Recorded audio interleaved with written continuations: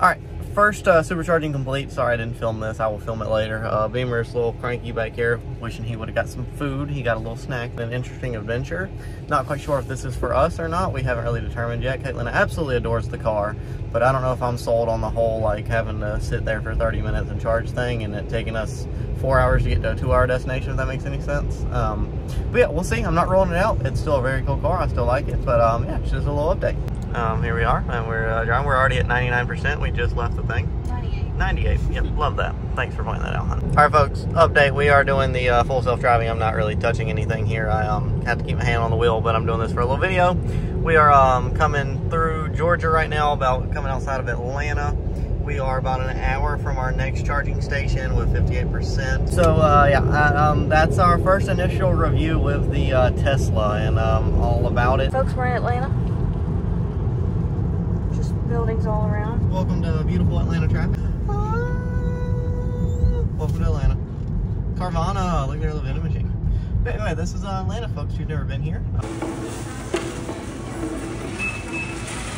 All right, folks, our pickup is complete. We have a 22X4 Elite and a 8XE Elite. Um, super happy with these guys. I don't know what it is with the A-scale boxes. It's just like they are all beat up and everything, but I mean, it's all good. Uh, picked up these two bad boys. This guy is fully built with electronics. I'll go into details on that later. This guy has not been built yet, so we got to finish building him and put him together, and I'm super excited about it. This one has one race day on it, and there's no scratches on the bottom of the chassis. It was ran on a carpet track, and it's just freaking cool. This is going to be Caitlin's race car. This is going to be mine or Brad's loaner, whichever one we want to do. Super good haul. Beamer is, again, back here sleeping. Caitlin's driving now. She's taking up the driving. In Atlanta. Uh, in Atlanta. Um, it's heck of traffic, so um, that's fun. What's that? I don't know what that is. Like a uh, torch? It's kind of weird. Alright boys, here is my mildly assembled car. We have everything kind of laid out in here and this is exactly what the car is going to look like. We got the Reds 721 Scuderia in there. This thing is beautiful with the pipe. Look at that beautiful masterpiece. Damn! Coming over from the other side, we are running Savox servos. We are running a ProTech receiver pack and Futaba receiver on this bad unit, and I am super excited to get involved with that one. Next, we have Caitlin's e-buggy right here. We are very excited to get this thing put together, waiting on a few components left to throw some shocks in this car.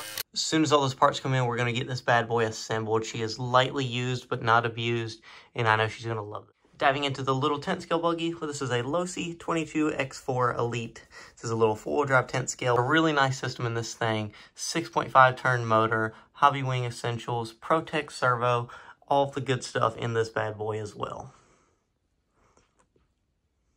Three days later. All right, we are uh, loaded. We need a enclosed trailer. This will do for now. Thank you, Jeff. Uh, there's wife in the TLR shirt. Matt, pit crew. Justin, racer. We're um, in the heavy Chevy heading down the interstate. We're um, gonna get there eventually. The enter of a state, yeah. We're entering a state. We're, we're enter, yeah, I don't know what we're state we're entering, but we're entering one. Why it's called interstate? Because you enter states with that type of road? Hmm. Hmm, think about it. I think it's inter because it's like between states, because inter means between. INTR means between. Hmm. What about a like highway, county road?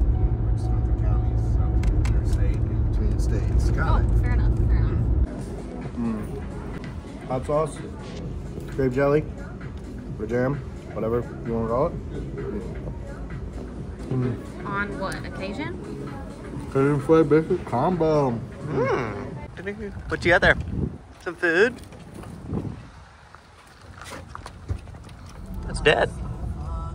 That's good though. Hey, can you mute Drake now? What's the interview? How are we feeling? Three on lap number Shivering one. in the Paul britches. Snyder. Shivering in the britches. Whose glasses are these? They're looking pretty stylish. These are Justin's. Oh, That's why oh, they're a little bit. Oh, okay, okay. These are mine. Oh. And uh, classic on Matt. What do you? Oh, no glasses. Coming up Oh. on minute 30 to go. Out there. Marshall Yeah. on the track ahead of the double in front of the stand, all clear. It's like um all y'all. 33.5 that time. Caitlin's car is very angry. I put holes in it. got a clock running Very angry. Bonham and Paul. Very solid chassis protector. Me and Justin painted her wing last night. It's a, it's a, it's a paint job. Looks pretty good. She likes it. It's all that matters. QCRC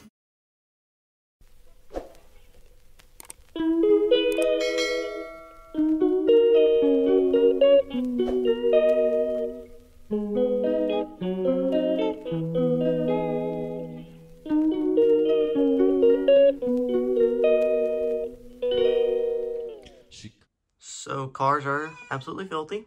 A great day of racing. Diesel thinks the exact same thing. Boys, it has been a week. It has been a week of racing. It has been a week of preparing for a race. We went out to our local track, the Hobby Connection in Easley, South Carolina. Went and checked that place out. I love that place. Love that place. It's very good. The people are so nice inside. They have a full hobby stop as well on site, a dirt oval, a concrete oval, a dirt track. It's just what more could you ask for? Went out there, took Justin for his first time, took Matt for his first time, and took my wonderful wife Caitlin. Took them for their first time at actual RC racetrack. So it was a bittersweet moment. It was great. Everybody had a blast. So my previous video was how good are RC race cars off marketplace. You can check that out right here. And in that video, I went over Justin and Sebastian's car. We kind of looked at my car in a box and kind of looked over the general basis of it, but we didn't really dive into my car. And we definitely did not go into Caitlin's car. Caitlin's cars. Uh, Caitlin has two cars, so. Our cars did phenomenally. I could not be happier with them. Went through everything on this one, every nut, bolt, nook, and cranny, looked it over. I'm very happy I did. Went over her car as well, went through all the diffs, the shocks, and everything, made sure I had a good setup on here for her that was a good basis so she could learn to drive on. Turned out being awesome. We got the car a little hot, so I opted to get her a fan off in the little body there, made a little angry face. So we get some airflow through this body. Hit her wings so she could see it a little better. Wasn't able to run much, unfortunately, so I didn't get a lot of filming. The novice class there was very weird. She got thrown in with seven eight scale electric buggies and I think one slash, and the slash didn't stay for the other two, like the second heat or the main either. She left after the first heat, and I was like, I'm really sorry, you can drive my car, but the car's gonna get broken. It just was not good. I did not like the way they set that up. And these kids were not novice.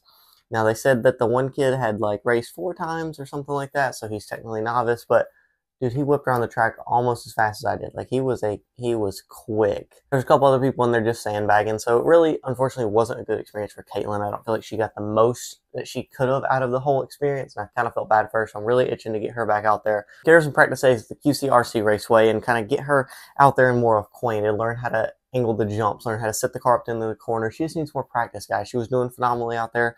It's a big track, kind of scary. When you get that back corner right there and you kind of get lost in it for a moment, but she did phenomenally. I'm happy with her. But we think we're going to upgrade her to the 8 scale. We think the 10 scale might be a little too small and finicky for her, where I thought that would be good, and it technically would be at the end of the day to help teach her driving lines and show her like what upsets the car and what doesn't, because these are a lot more forgiving than the smaller 10 scale stuff. But over time, it's just seeming like I think the 8 scale is going to be easier for her to learn how to drive on, and it may be easier for her in the long run. So, so we're going to start her out on the beautiful TLR Elite X e-buggy, and um, I think this will be a phenomenal car for her. I think she'll love it. Um, I was a little skeptical of like I was telling you guys about going from a pillow ball car to a caster car, but I really didn't have any issues. It was a little bit harder to get the car to rotate, I'll admit, but I think that's just my setup. I think I need to go a little bit thinner diff oil in the rear and it will kind of help free that car up and let it rotate more throughout the corner because I kind of like to come into a corner and let the car just sling around and pull itself through. Whereas with this setup right now, I kind of had to slow down and let the car like kind of the front pull the car through and I'm not really used to that.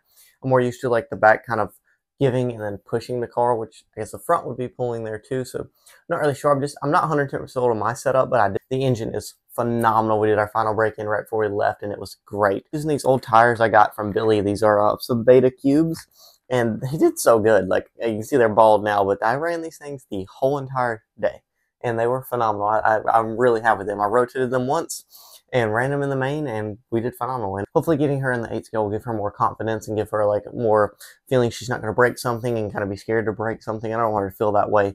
We just didn't have a lot of parts for this thing as well. 8 scales are just, they're kind of indestructible almost. They're really hard to break something. And we literally ordered every single part we could imagine. Boys, that's all I got for this one. I thank you so much for watching this video. I hope you enjoyed it. Hit the giant like button hit subscribe. If you're feeling a little bit frisky, hit that notification bell. Let us know what races you guys are going to. I'll drop some links down below to Live RC and we'll drop some other stuff of our local tracks. You can join our local Facebook group, Southeast RC Racing. That'll check all of the races that we're going to in our local community. We're also going to be traveling to Georgia. I think we're going to do the Georgia Shootout Series at, I think, September through December. So we're going to be doing that. Check that out. It's going to be really cold. So we are in the process of trying to find a toy hauler. We're going to do an enclosed trailer like you used to have, but I'm thinking the toy hauler with a shower, you know, having a wife now, having dogs, and I, I just think that fits more. So we're going to look for a toy hauler. You know anybody? Drop a comment down below. Let me know.